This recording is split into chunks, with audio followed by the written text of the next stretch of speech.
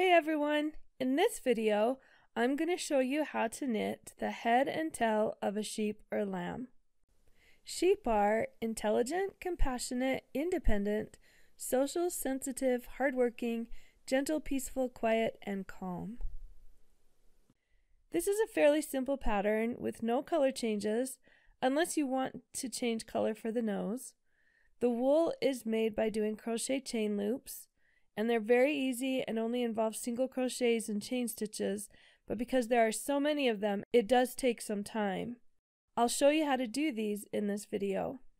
You'll need about 4 ounces of DK or sport weight yarn, or about 3 to 4 times that if you're using worsted weight. You'll also need about a yard of darker contrast yarn for the eyes. I like using a black yarn with a little bit of sparkle.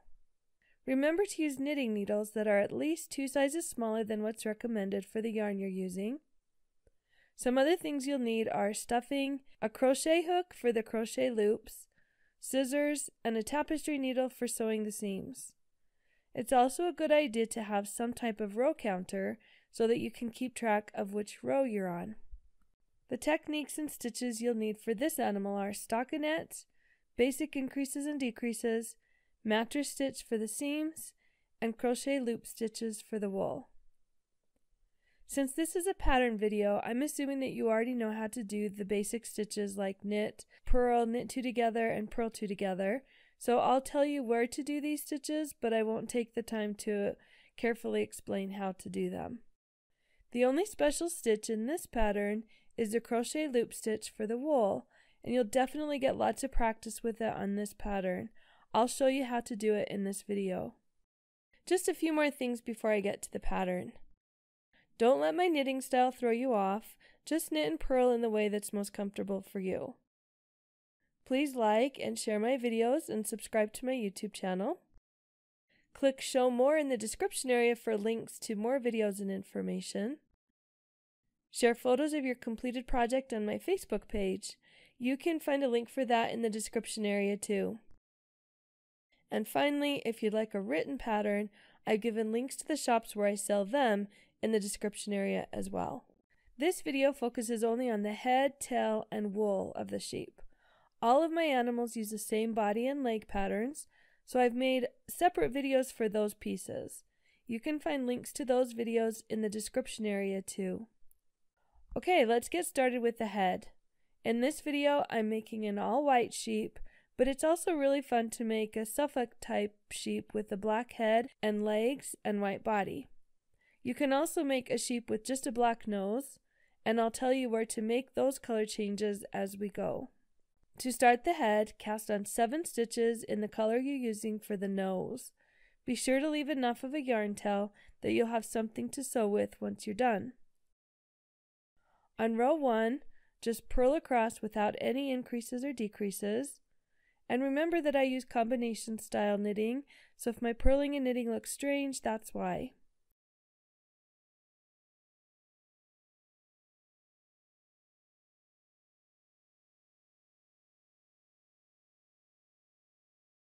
Row 2 is an increase row. Knit 1 and then increase 1 and do that to the last stitch. You should have 13 stitches at the end of this row. By the way, I like to use an invisible increase known as make one. You make it by knitting into the stitch on the row just below the stitch on the right needle.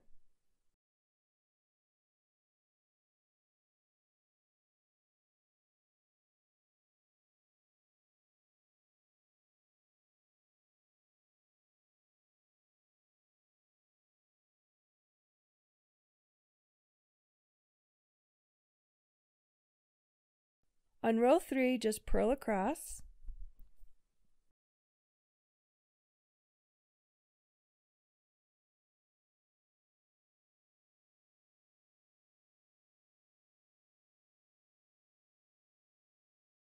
Row 4 is another increase row with the pattern of knitting 2 and then increasing 1. Follow that pattern across to the last stitch and then knit it. And you should have 19 stitches now.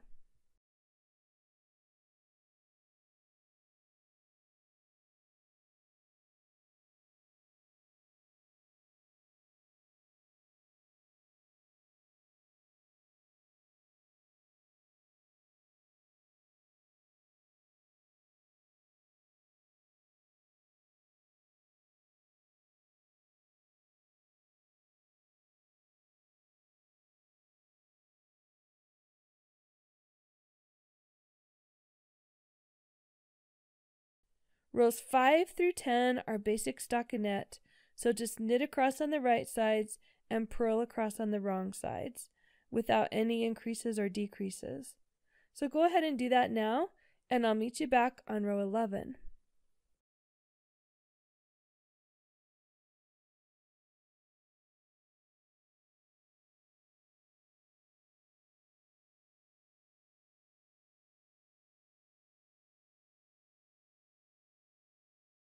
Row 11 is a good place to change color back to the main color of the head if you just want the nose to be a different color. If you're not changing colors, then just purl across on row 11 without any color changes.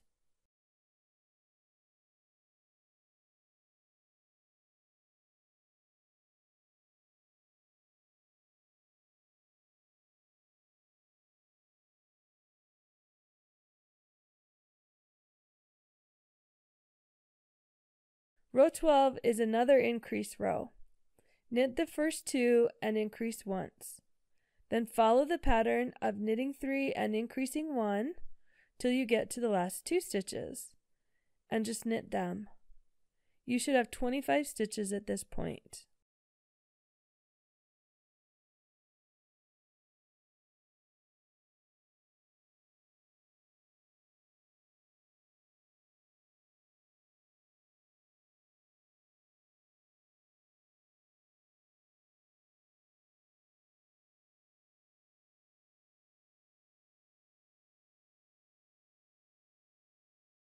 Purl across on row 13.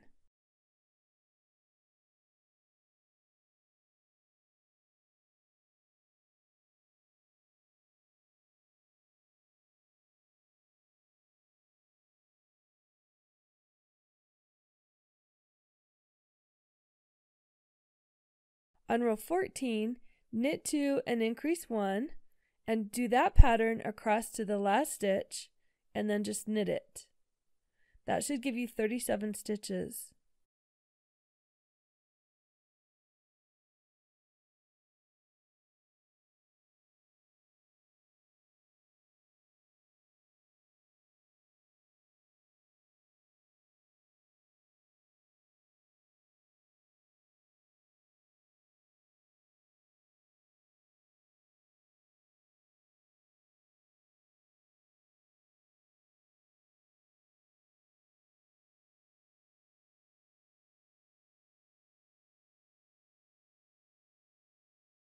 On the next three rows, rows 15, 16, and 17, just do stockinette again without increasing or decreasing, and I'll meet you back on row 18.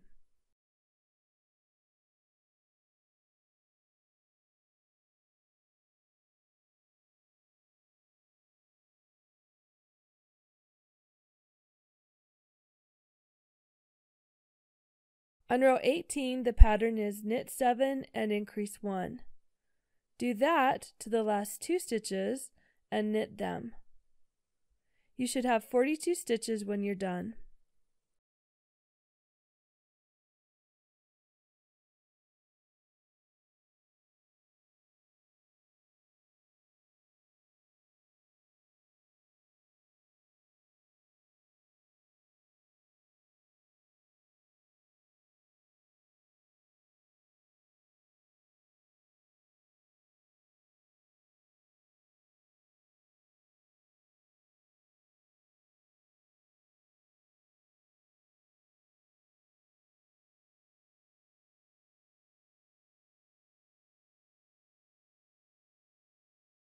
Continue stockinette for rows 19, 20, 21, and 22.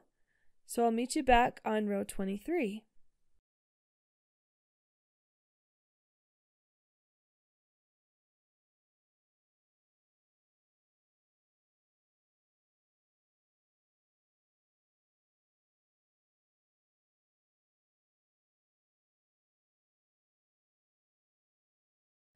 On row 23, we start decreasing at the back of the head.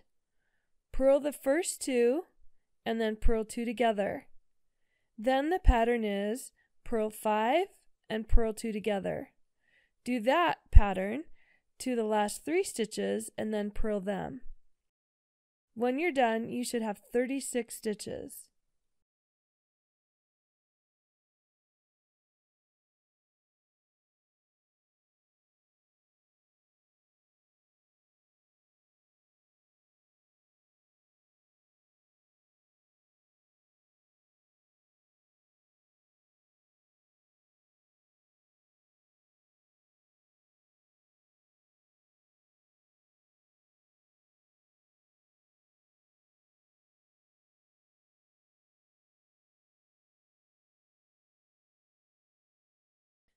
Knit across on row 24.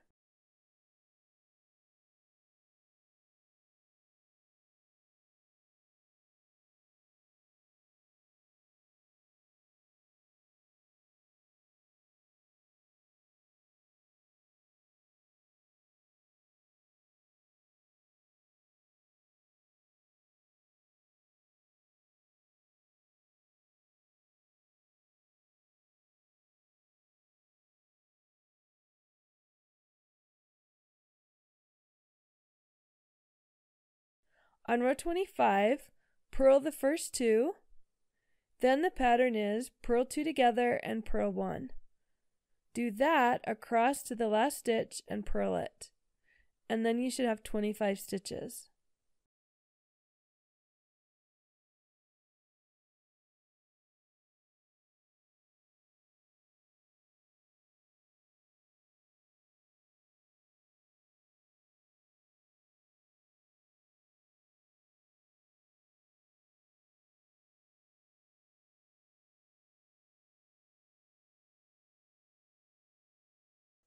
Knit across on row 26.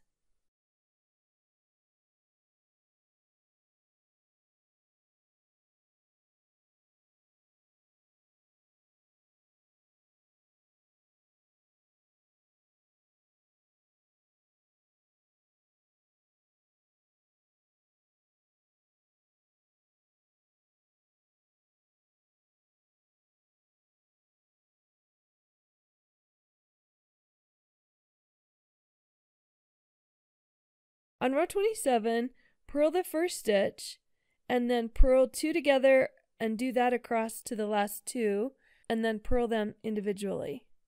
And you should have 14 stitches when you're done.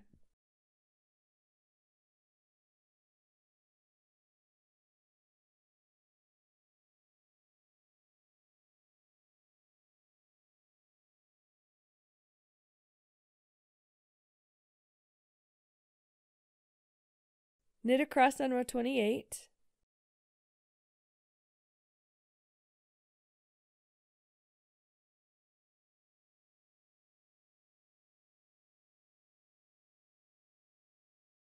On row 29, which is the last row, purl the first stitch, then purl two together across to the last stitch and purl it.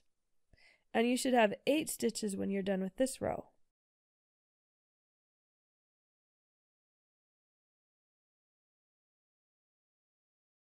When you're done with row 29, don't cast off.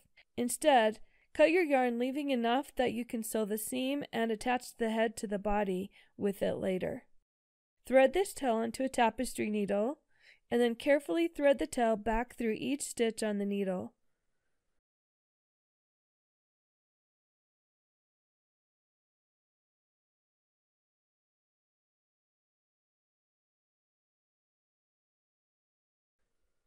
Just to be safe, I like to thread the tail through those same stitches once more. Pull tight to make a nice closure. Now sew the bottom head seam a little less than halfway from the back to the neck at the bottom of the head.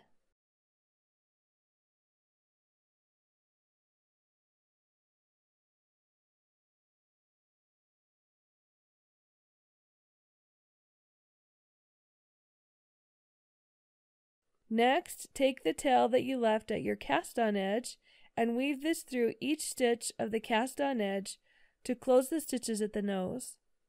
Then sew this end of the head seam a little less than halfway to the bottom of the head. You're trying to leave a wide enough opening at the bottom that you can push stuffing through to stuff the head.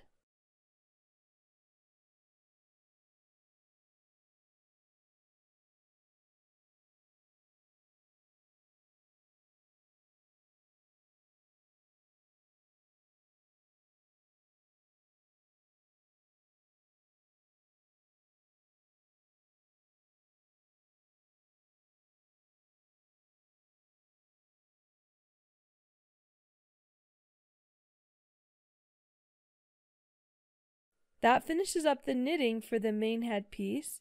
Now we can move on to the ears.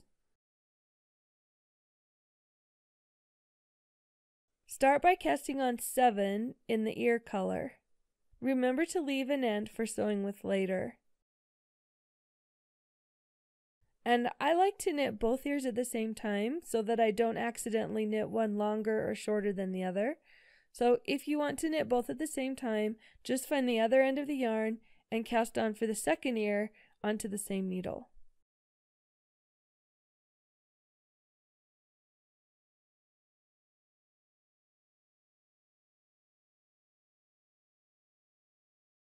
Purl across on row 1.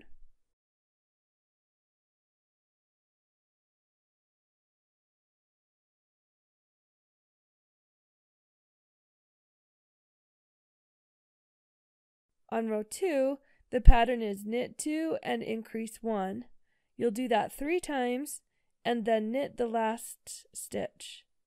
And you should have 10 stitches.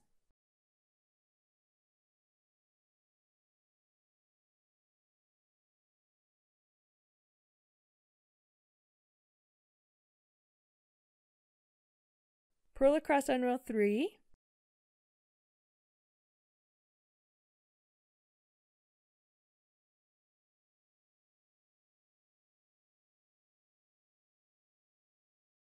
On row 4, the increase pattern is knit 2 and increase 1. Simply knit the last two stitches and that should give you 14 stitches.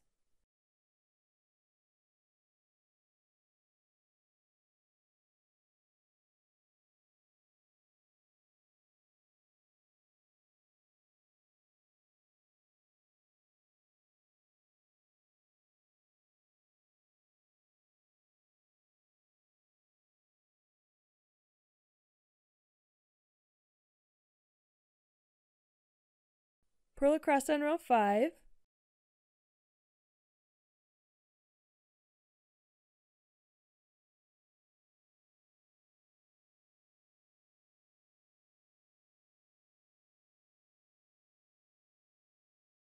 On row 6, knit 2 and increase 1 and do that to the last two stitches and then knit them. And that should give you 20 stitches.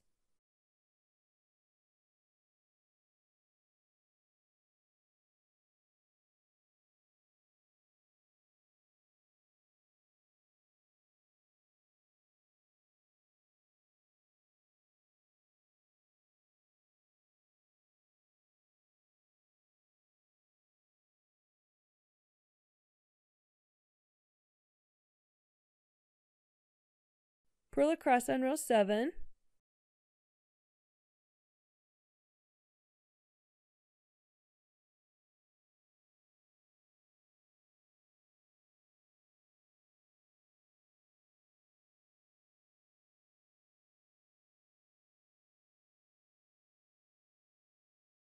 On row 8, knit 3 and increase once.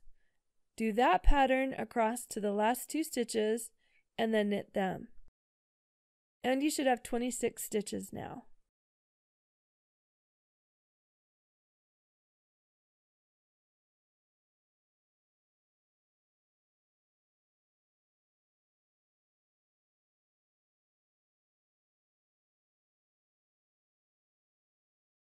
Purl across on row 9.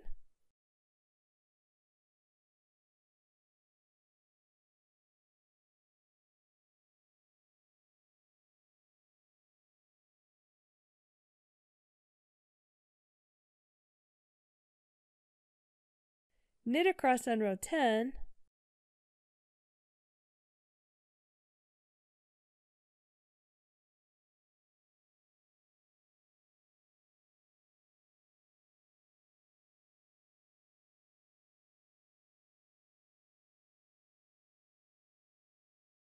On row 11, we decrease using the pattern of purling 1 and then purling 2 together. Do that pattern until you only have two stitches left and purl each of them separately. That should give you 18 stitches.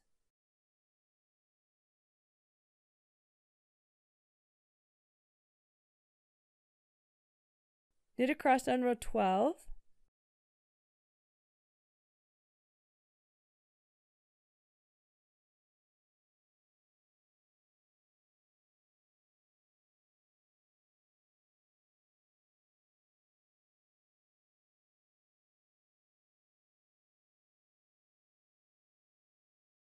On row 13, purl the first stitch, then purl two together eight times, then purl the last stitch, and that should give you 10 stitches.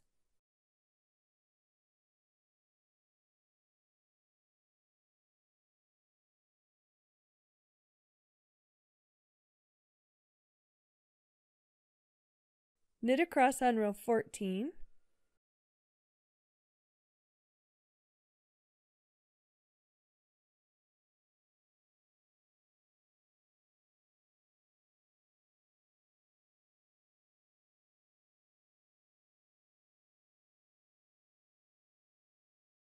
On row 15, purl the first stitch and then purl two together four times.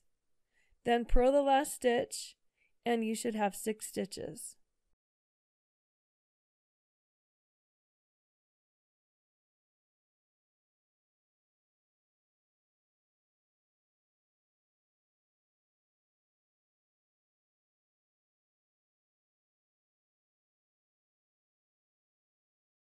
Cut the yarn, leaving enough to sew with.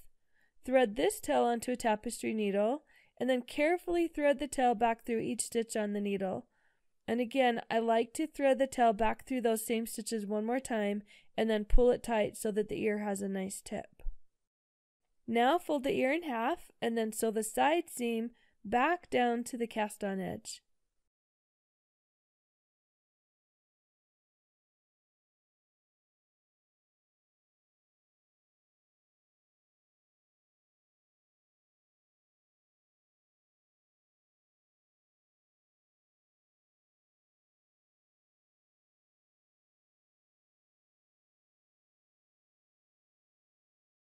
I like to fold the ear so that there's an indentation on the front side. When we're ready to assemble all the head pieces, we'll sew the ears on the sides of the head.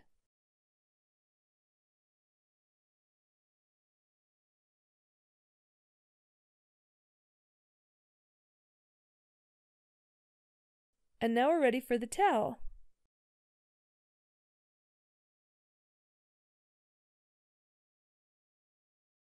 Cast on 6 in the tail color.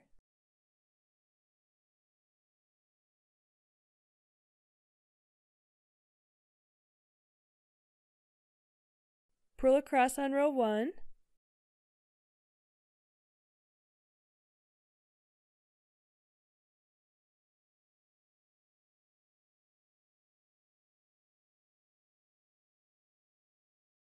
On row 2, the increase pattern is knit 1 and increase 1. Do that to the last stitch and then knit it, and you should have 11 stitches.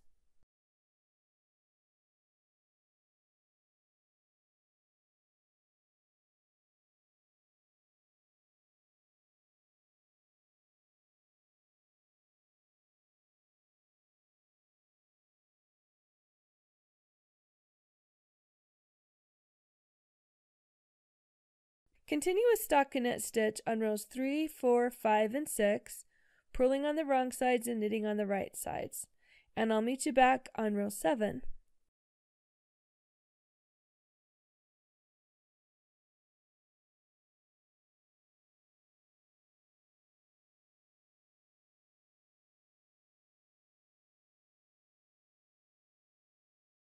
On row 7, purl the first stitch, then purl two together to the last two stitches.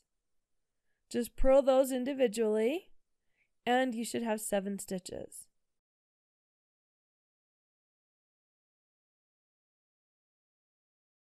Knit across on row 8.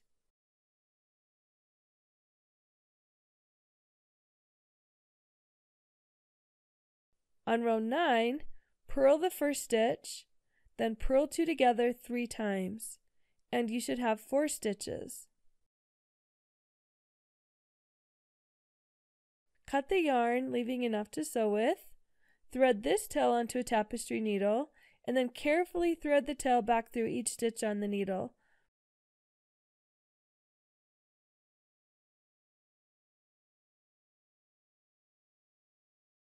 You'll sew the tail into position on the back using the legs and back of the head to help you find the center position.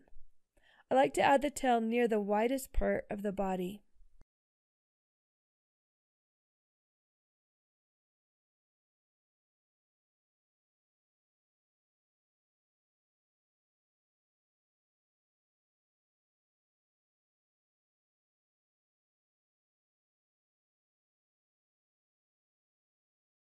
Okay, now we need to assemble all the pieces and then we'll be able to add the wool or fleece to the assembled animal. If you haven't already knitted the arms, legs, and body, you'll need to go ahead and do that now. I have an entire video dedicated to assembling the arms, legs, and body, so in this video I'm only going to focus on assembling the head. Grab some scissors, a tapestry needle, some stuffing, and a scrap of darker yarn for the eyes and nostrils. Stuff the stuffing through the little hole that you left at the bottom of the head. Be careful not to add so much that it makes the stitches spread apart. Finding the positions for the ears can be tricky. Sheep ears typically sit more on the sides of the head, and I like to start by holding them into position with my hands just to get an idea of where they look best, and then I use the yarn tails to sew just a stitch or two as a temporary stitch that I can remove easily if the position isn't quite right. I also like to sew across the bottom edge of the ear and pull that tight so that the ear has a stronger indentation. This can take some time, but it's not good to rush here because the position of the eyes and ears can make a huge difference in the final look of your animal. It helps to have a photo to look at as you're going. I include photos in my written patterns, and there's a link to the shops where I sell them in the description area of this video. Now let's add the nostrils. Thread the darker thread onto your needle and then bring that up through the hole at the bottom of the head and into position. With the dark yarn, sew a sort of broken V near the tip of the nose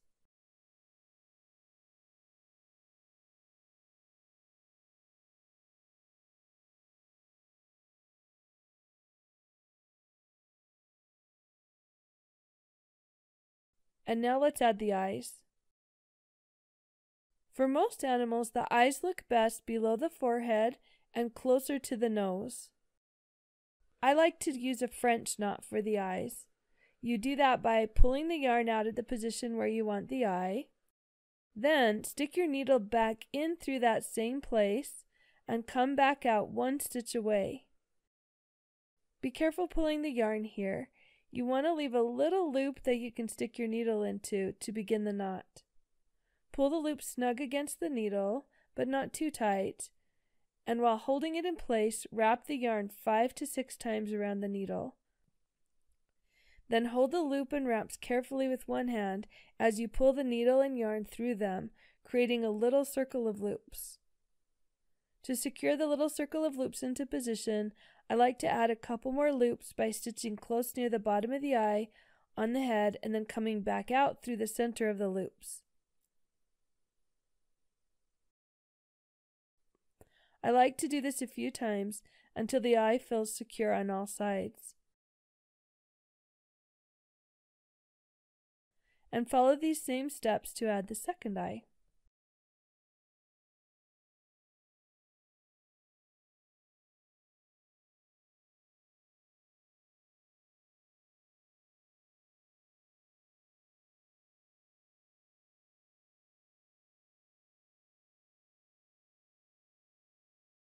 That's the final head detail, and now we can sew the rest of the bottom head seam.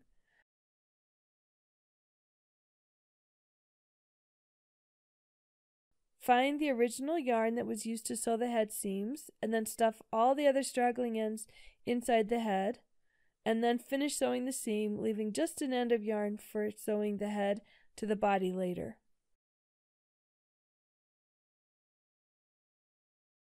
Once you've assembled all the pieces, we're ready to add the wool. You need a crochet hook for this and you'll just need to know how to do chain stitches and single crochet stitches. Start with a slip knot on your crochet hook, then stick your hook through a stitch where you want to begin adding wool. I'm starting at the top of the head, in the middle where it will be easier to hide the tail of my yarn. Then do one single crochet and you do that by hooking the yarn and pulling it back out. And now you have two loops on your hook. Grab the working yarn again and pull that through the loop the two loops on your hook. And that's it. That's a single crochet. Next, you're going to chain 8 times. and you chain by hooking the yarn and pulling it through the loop on your hook. And that's all you have to do. You just do that eight times. Hook the yarn, pull it through the loop. Hook the yarn, pull it through the loop. After you've chained eight times, choose a spot about three stitches away from your last single crochet and single crochet again. So the pattern is single crochet, chain 8, single crochet, chain 8. Just keep doing that wherever you want the sheep's wool to be and filling it in as thick as you like it. Each chain and single crochet makes a little loop that sticks out and ends up looking like sheep's wool. The crochet loops take a long time on the sheep because they cover almost the entire body and head. You can even take the wool down so that it covers the eyes and only the nose pokes out. But I like it better when I can see the eyes, so I won't go down quite that far.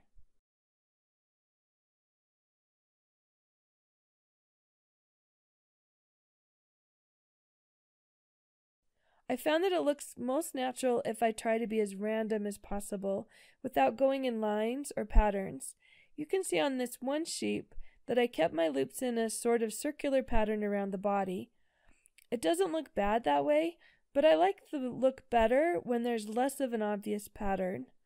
On the sheep I'm making today, I'm going to be careful not to go in an obvious pattern, and you'll be able to see the difference when I'm done. Okay, I'm going to stop here and I'll come back when I'm done working these crochet loops around the back of the head and body. And here's what the sheep looks like when it's all done. Thanks for watching this video. Don't forget to like it and subscribe to my channel so you can get notified when I release other animal and clothing patterns. And share a photo of your completed project on my Facebook page. See you next time.